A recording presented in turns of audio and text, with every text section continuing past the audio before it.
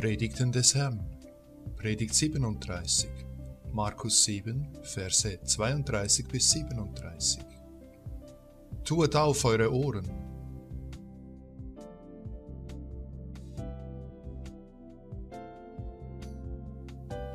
Und sie brachten zu ihm einen Tauben, der stumm war, und baten ihn, dass er die Hand auf ihn legte.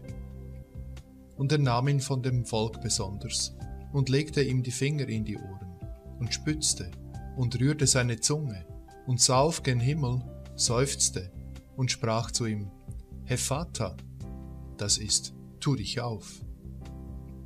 Und alsbald taten sich seine Ohren auf, und das Band seiner Zunge ward los, und er redete recht. Und Jesus verbot ihnen, sie sollten's niemand sagen. Je mehr er aber verbot, desto mehr sie es ausbreiteten, und das Volk wunderte sich über die Maßen und sprach, Er hat alles wohl gemacht, die Tauben macht er hörend und die Sprachlosen redend. So spricht der Herr. Die schnelle Heilung eines Taubstummen, von der diese Verse erzählen, war eine von jenen Taten, mit welchen ich von Zeit zu Zeit meine Lehre bekräftigen musste, damit meine Jünger sowie das Volk, welches mir nachfolgte, auch durch Taten überzeugt wurde, dass meine Worte göttlicher Abstammung sind. Diese Taten sollten auch mein Dasein auf eurer Erde als eine höhere Mission als die eines Propheten und Sehers begründen und beweisen. Denn das Volk, durch scheinbare Wunderwerke der Magier und Esser daran gewöhnt, Dinge vor seinen Augen verrichtet zu sehen, welche es nicht begreifen konnte, legte nur zu leicht dem einen oder dem anderen einen Namen oder eine Kraft bei, die ihm nicht eigen war, weswegen ich hauptsächlich nur Heilungen oder solche Wunder vollführte, die jenen Gauklern und Magiern nicht zu verrichten möglich waren. Was den Akt der Heilung selbst betrifft, so wie ich ihn verrichtete, hat er einen tieferen, geistigen Sinn, als nur den, dass ich einen Taubstummen heilte, damit er dann von mir und meiner Wunderkraft reden sollte. Ich hatte derlei Anpreisungen nicht nötig, ja, wie einer der Verse deutlich sagte, ich verbot dem Geheilten sowie den Zeugen von dieser Tat weiter zu reden. Dies wurde aber nur selten befolgt, denn eben durchs Verbot erwacht der Drang zum Sündigen noch stärker. Auch mein Jünger Paulus empfand dies, indem er seufzend sagte, Wäre nicht das Gesetz, so wäre nicht die Lust dagegen zu sündigen.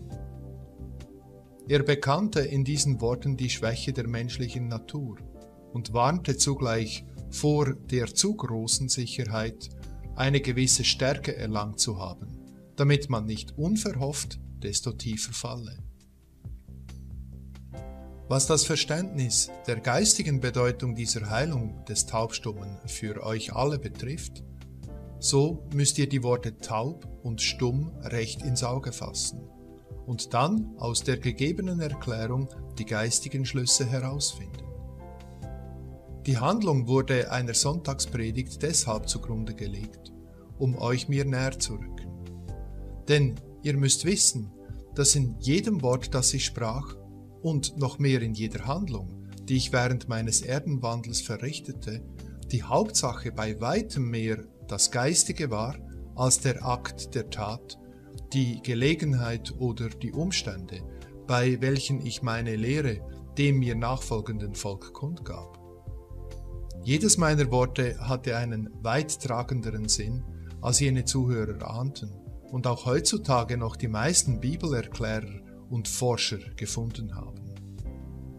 Deswegen muss ich auch hier diese beiden Worte taub und stumm etwas näher erklären damit wir durch geistige Entsprechung leichter herausfinden können, was jetzt zu meinem Zwecke passt und was schon in jener Zeit in meinem Wort Hephata und in der Handlung, wie auch in der Person, an welcher ich die Handlung vollzog, lag.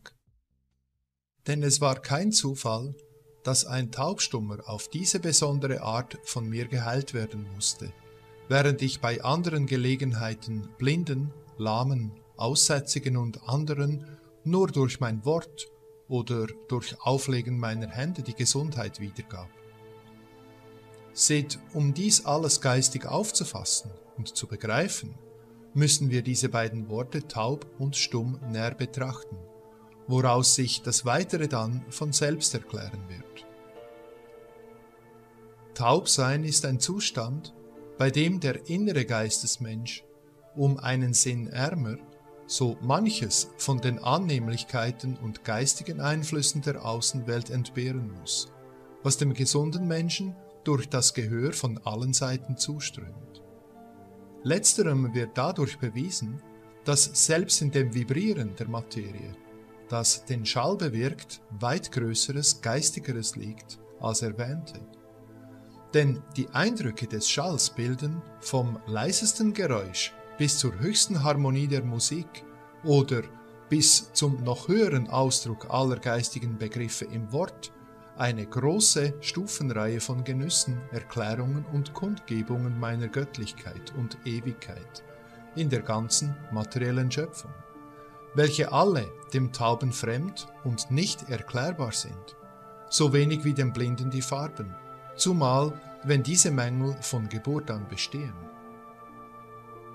Stumm ist wieder das Entgegengesetzte von taub. Während nämlich im Tauben der innere Mensch tausender Einflüsse von außen durch das Nichthören beraubt wird, so muss umgekehrt der Stumme, des Mittels der Sprache beraubt, den Mangel fühlen, die Einflüsse, welche die ihn umgebende Außenwelt auf ihn ausübt, nicht kundgeben und die durch das Äußere in seinem Innern sich abspiegelnde Welt anderen durch das größte und umfassendste Werkzeug, durch die Stimme und Sprache, nicht mitteilen zu können. Es stehen ihm im besten Falle neben Gebärden und Zeichen unartikulierte Laute zu Gebot.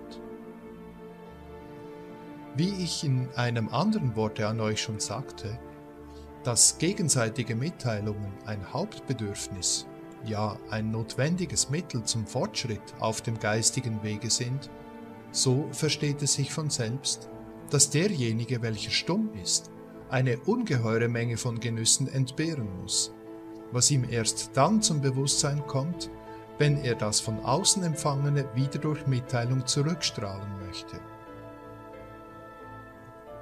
Nachdem ich euch die Bedeutung dieser beiden Worte und die Nachteile des Verlustes der einen oder der anderen Eigenschaften näher erklärt habe, so könnt ihr euch einen rechten Begriff von denjenigen Geschöpfen und Menschen machen, welche nicht nur den einen oder den anderen sind, sondern beide entbehren müssen. Das Fühlen oder die Aufnahme der von außen kommenden Harmonien und das Wiedergeben der durch dieselben auf den Innenmenschen hervorgebrachten Eindrücke fehlen. Es liegt in diesem Mangel ein ungeheurer Hemmschuh des Fortschritts im Geistigen denn wer nur durch andere Mittel als durch das Gehör das außer ihm liegende aufnehmen und das aufgenommene notdürftig wieder mitteilen kann, der entbehrt in meiner großen Schöpfung vieles, was anderen, ohne es zu wissen, im vollen Maße in den Schoß fällt. Nicht ohne Grund bat mich in jener Zeit das Volk, diesen Taubstummen zu heilen. Es war von dem Gedanken geleitet, dass auch er meine Worte vernehmen sollte und dass er so, wenn sein Inneres mit einem großen Reichtum von nie geahnter Geistesfülle genährt sei, seine und auch meine Mission auf Erden begreifen könne. Wie viele Menschen haben noch jetzt ihr geistiges Ohr meiner Schöpfung und meinen Lehren verschlossen? Und wie vielen ist noch bis jetzt meine ganze Schöpfung ein stummes, zusammengeworfenes Gemisch aus Stoff und Materie, dessen Gesetze nach ihrer Meinung nur dem Zufall entstammen. Wie vielen rufe ich zu, Hefata, das heißt, tuet auf eure Ohren, vernehmt den Jubelgesang der ganzen Natur, die vom letzten Atom bis zur größten Zentralsonne nur Liebe predigt. Macht auf eure Ohren und vernehmt das geistig Tiefe, welches euch in meiner Lehre gegeben wurde, um euch zu etwas Höherem, etwas Größerem zu erziehen als zu vegetierender Kräuter- und fleischfressenden Tieren, die nur mit größerer Intelligenz als die anderen begabt sind. wie vielen rufe ich dieses alle Tage, jede Stunde, ja jeden Augenblick zu? Und jede Gemütsbewegung, jede Idee, die doch nicht Produkt des Stoffes oder der Materie sein kann, zeigt ihnen deutlich, dass in dem körperlichen Tiermenschen ein geistiger, höherer Mensch verborgen liegt, der den äußeren Menschen so vergeistigen sollte, dass er eine würdige Umkleidung des Innern und ein Geschöpf werde, das seinem Schöpfer Ehre macht. Und seht, Tausende haben sich selbst zur Taubstummheit verdammt. Sie begreifen nicht, welch großer Schatz geistiger Seligkeiten in meiner Natur auf sie einwirken will. Sie sind kalt oder stumm bei diesen Eindrücken. An ihren Ohren gehen alle geistigen Harmonien unbeachtet vorüber, und ihr Inneres ist leer oder nur von Eindrücken angefüllt, die aus der niedersten Sphäre der Materie oder der Sinnlichkeit herrühren und sie vom Menschen zum Tier herabdrücken. Ihr Inneres ist leer, und weil sie nichts Geistiges geben können, empfangen sie auch von anderen nichts. Für sie herrscht nur die Materie, und Geistiges ist ein Erzeugnis eines verrückten Gehirns. Durch dieselben Worte, welche ich euch schon seit mehreren Jahren zukommen lasse, rufe ich meinen verehrten Kindern das Hefata zu, lege meine Finger in ihre Ohren, um sie noch zu retten, solange es möglich ist, und ehe noch die ganze Natur mit Posaunentönen statt mit sanften Harmonien ihnen ins Ohr tönen wird, was sie auf friedlichem Wege nicht verstehen wollen. Ich habe die Menschen nicht erschaffen, dass sie gegen alle meine Werke taub seien, und habe meine Schöpfung nicht mit so vielen Wundern ausgerüstet, dass sie meinem geistigen Wesen ein stummes Buch sein solle. Taubstumm ist und soll nichts sein in meiner gesamten Natur. Alles, was lebt, soll die Sprache seines Schöpfers, seines Vaters vernehmen. Denn er will mit den Eindrücken seiner Schöpfungen die Seele der geschaffenen Wesen so erfüllen, dass in der Mitteilung des Geschauten, Gefühlten und Gehörten die ganze Wonne des Daseins liegt. Nicht stumm soll meine Natur sein, denn stumm ist so viel wie geistig tot.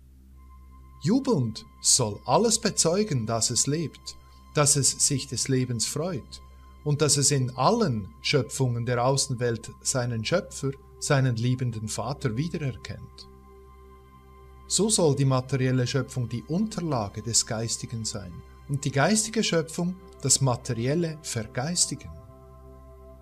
Taub oder stumm ist oder soll nichts sein in der Welt, am wenigsten der Mensch, der als letztes Produkt der materiellen Schöpfung auf dieser Erde mein geistiges Ebenbild in sich trägt. Wie ich dem Taubstummen das Gehör wiedergab, damit er höre, was und wie alles in der Natur mich lobt und preist, so sollte er auch nicht mehr stumm sein, damit er in diesen Jubelgesang mit einstimmen könne und mich als seinen Herrn, aber auch als seinen liebenden Vater erkennen möge. Wie ich jenen Taubstummen heilte, so lasst auch ihr euch heilen, damit ihr, nicht taub gegen meine Worte, den anderen laut mit der Macht der Stimme voller Überzeugung verkünden könnt, dass jene Taten und Wunder vor mehr als tausend Jahren von mir verrichtet, geistig nur andeuten wollten, was ich mit der ganzen Menschheit im Sinne hatte, als ich sie schuf und als ich euch Menschen auf dieser Erde zu Herren einsetzte. Ich wollte nicht Taube und nicht Stumme, sondern Wesen für mein Reich erziehen, die offene Geistesohren und beredete Zungen haben sollen, mich und meine Schöpfung zu vernehmen und laut zu verkünden. Hosianna in der Höhe, heil ihm, der uns diese außerordentliche Gnade gab, ihn zu vernehmen, und uns nebenbei auch die Mittel verlieh, das Vernommene wiederzugeben, damit es nicht für uns allein, sondern für alle diejenigen ein Gemeingut werde, die seine Kinder werden wollen. So wünsche ich, dass ihr mir den täglichen Lobgesang darbringt, damit ihr der ganzen Welt durch Wort und Tat beweist, dass ihr während meiner Lehrzeit weder taub noch stumm gewesen seid. Dies beachtet, zu eurem Heil, wie auch zum Besten eurer Nächsten. Amen.